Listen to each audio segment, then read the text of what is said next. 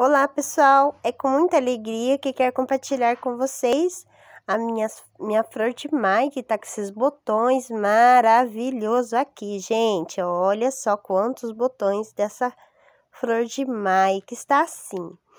E aí, como eu, me, eu cultivo ela? No substrato bem drenável, rega somente uma vez na semana, substrato orgânico, e ela está assim, toda verdinha, olha os galinhos dela.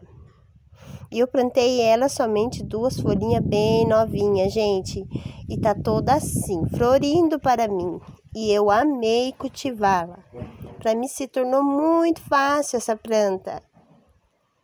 E olha só, que o botão já é lindo, a flor mais bela ainda. Olha só, gente. Aí, se você gostou, gosta da Flor de Maio, deixe o seu joinha. E obrigada pela sua atenção.